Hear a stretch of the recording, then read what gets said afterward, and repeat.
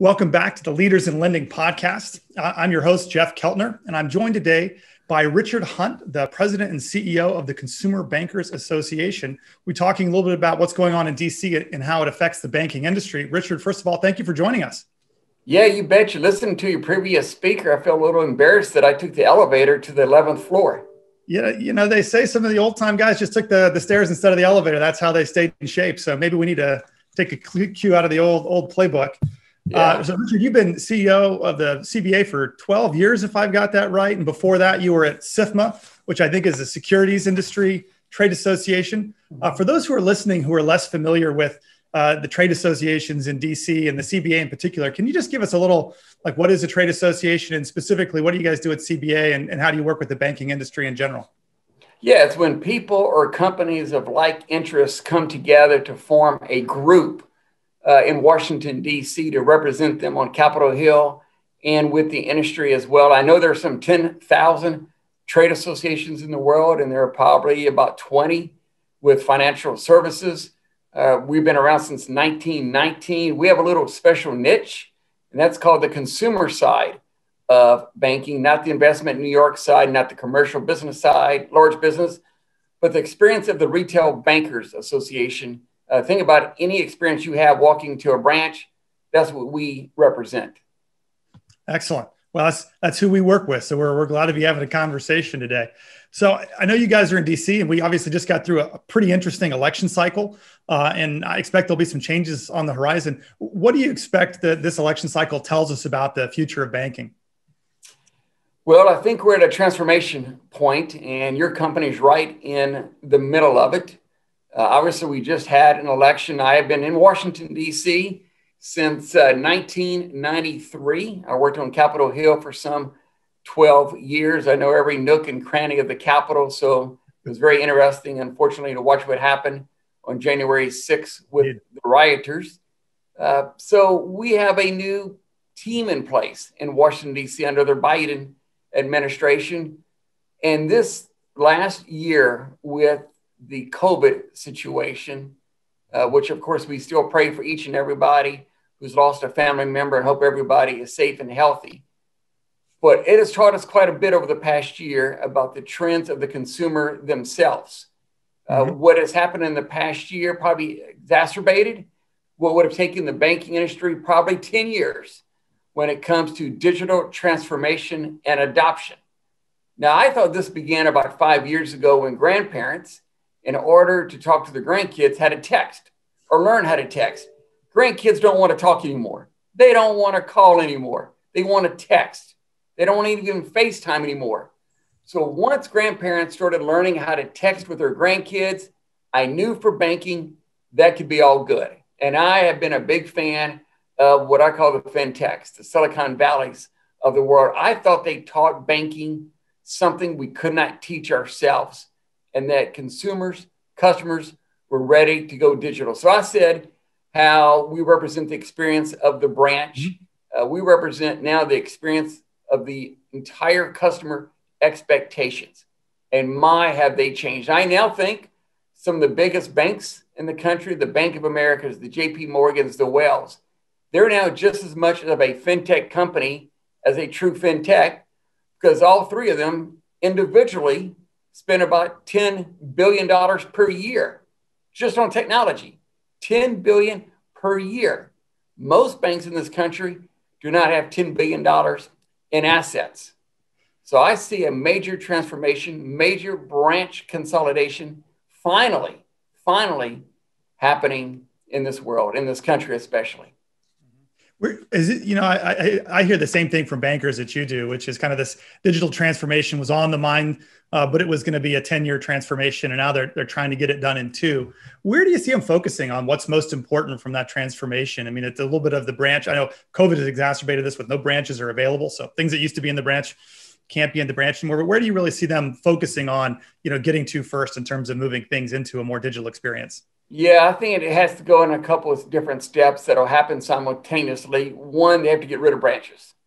And I would not be surprised if we had uh, 30% less branches over the next three years. Now, usually we average about 2% consolidation of branches, But think about the recent mergers, SunTrust and um, it is now Truist, SunTrust and BB&T, consolidating branches there, BBVA and PNC. So you're seeing those four major banks becoming two, and with consolidation, they're going to get rid of branches. So I think you see that first and foremost.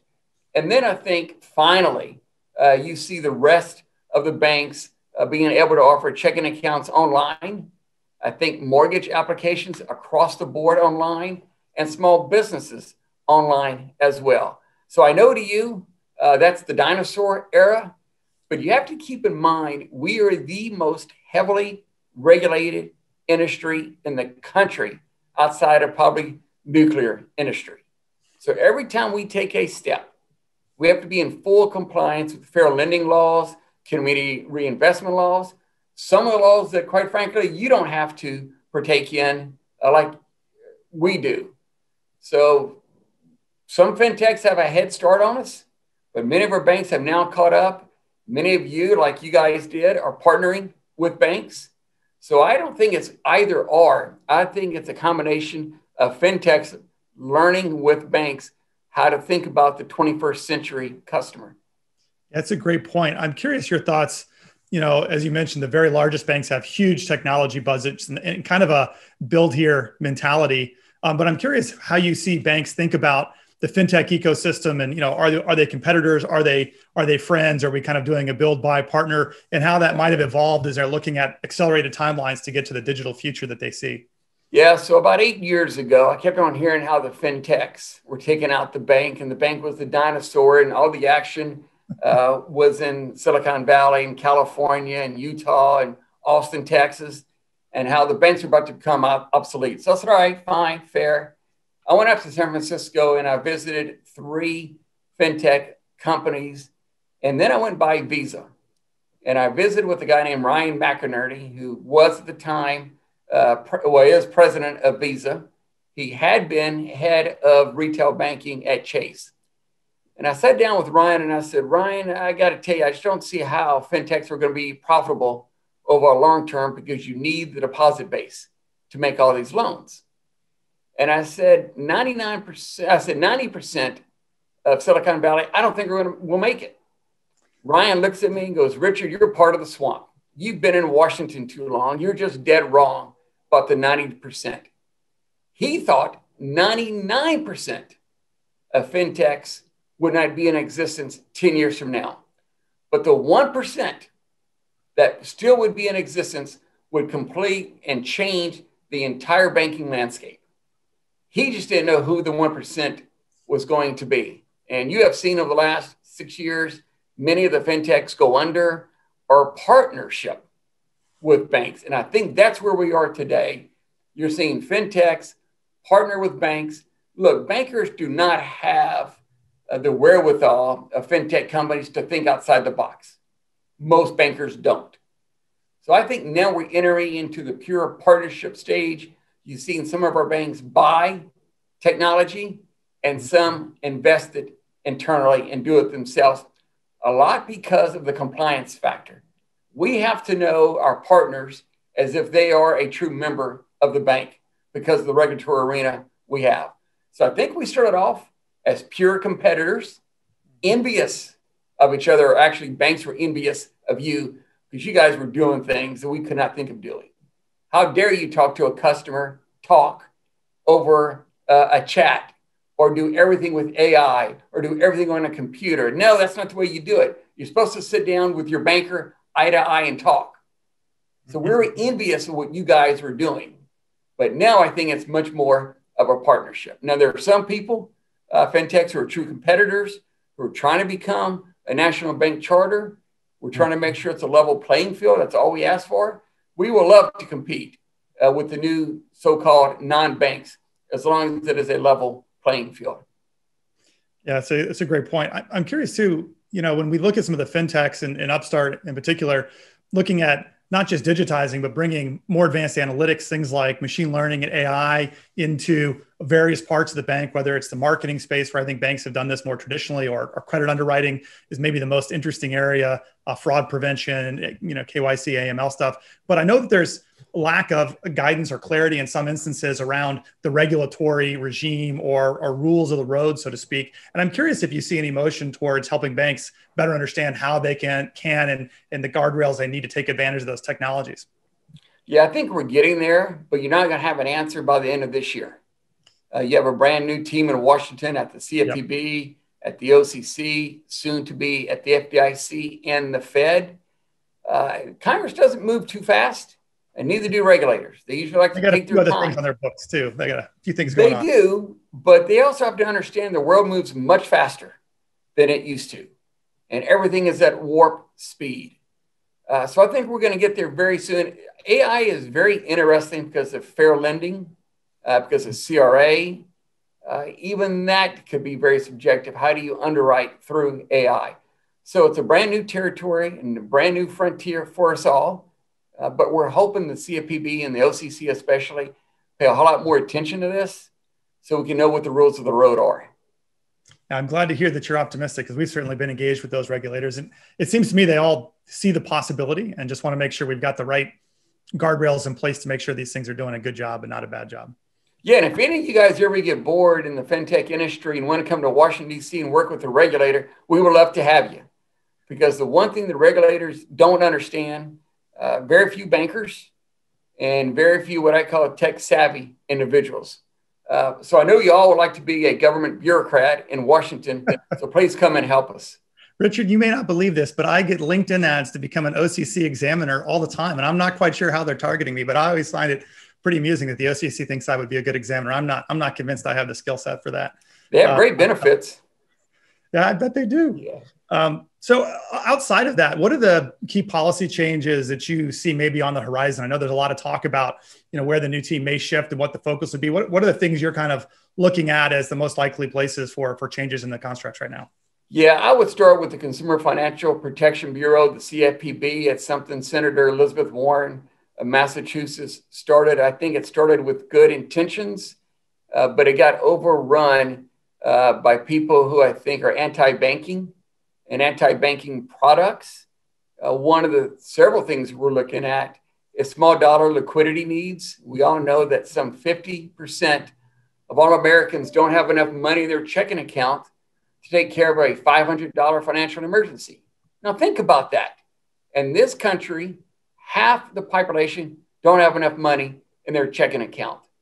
And that's where we stepped up in the banking industry. You guys are doing that with your unsecured products to help people meet that need. I wish that product uh, did not have to be in existence. I wish everybody had enough money to pay their bills each and every month. That's not reality. That's fantasy land. And so we're hoping that our banks, uh, some, some 10,000 banks, can get back in here and help people with short-term liquidity needs. I remember Dick Bove, a stock analyst uh, who grew up in the New York uh, Bronx area. Uh, when he was growing up, his parents needed money, and they couldn't go to a bank, and they couldn't go to a credit union. They went to the mafia, literally the mafia. So the mafia is really not that ancient, and he had to get money. And he's thinking today, where do you go for short-term money? If you can't go to a bank or a fintech and you've exhausted your credit card, you're going to go to a payday lender or even worse, an online lender. And that's going to be very, very high interest rates. And you get in this mountain of debt and a debt trap and everything else. So that's one of the things we're going to be trying to get the Biden administration to understand the plight of everyday America and make sure the banks, who are a heavily regulated entity, have the ability to offer these products. The government got rid of this product in 2014, and so many people were mad at us because it was a very popular product. It had a lot of safeguards, safe rails to it as well. And we're hoping we can get back into that one.